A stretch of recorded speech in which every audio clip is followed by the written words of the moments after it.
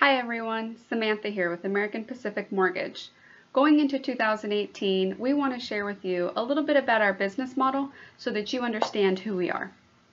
The reason why we're in this business is because we're innovators. We believe in challenging the mortgage industry standard in regards to your experience when obtaining mortgage financing. Something we do at American Pacific that sets us apart is that we personally tailor the loan process to match your preferences. We do this so that your experience with us is exceptional, that it exceeds your expectation. This adaptability has emerged our business to new and higher standards.